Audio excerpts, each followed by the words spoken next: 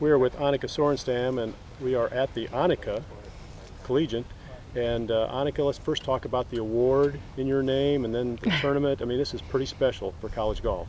Well, it is special, and special for me because I play college golf, and uh, golf is certainly close to my heart. And and I want to get back to the game, grow the game, and inspire these young these young girls to fulfill their dreams. So, yeah, for for me to have my name on a one of the Division One college tournaments in the country is very special, and we're going to give away an award, uh, Annika Award, to the the female golfer that's been considered the best for the last season. You know, it's been voted by her peers and and um, coaches and media, and uh, it's uh, it's really terrific. Uh, you know, just to again inspire them and share the passion. So, you know, we're, we're excited that 3M uh, is a sponsor because they do so much for for for women in general, and uh, we're excited about this week to get going.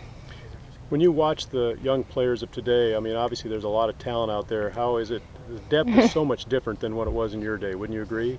Oh yes. I mean, I, I, you know, thanks to Title IX is you know one of the reasons why you see more female athletes in general and at the different college levels. But also, you know, they're they're very mature and you know they have coaches, educated coaches and knowledgeable coaches at an early age. So you see them, even though they're just maybe 18, 19, or 20, uh, you know, they're very mature young ladies, and uh, you know, there's a lot of responsibilities for them schoolwork and friends and then golf and then family and but they juggle things very very well and I mean that's what I think golf is uh, is amazing that way. You meet some incredible young individuals and you know we should be proud that these are ambassadors for the game of golf.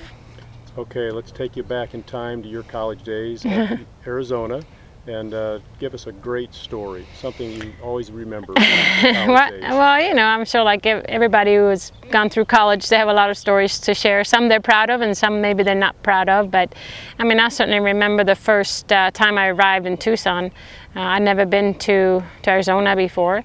I'd only been to Miami, so you can imagine the culture shock coming from Stockholm, Sweden to Tucson in August. It was extremely hot. I had two suitcases and a golf bag, and and I was put in a dorm, and the dorm was, you know, the size of a of a bathroom at home. I felt very claustrophobic early on, and and uh, but then you know I had some great teammates, and uh, just enjoyed college life with all the friendship that you build and the opportunities. So yeah, it's it's quite the the change for a lot of us. Uh, you know, moving from home and maybe far away from home home and, and being away from your, you know, from your near and dear. But uh, that's what life is about, growing up and, and have new opportunities.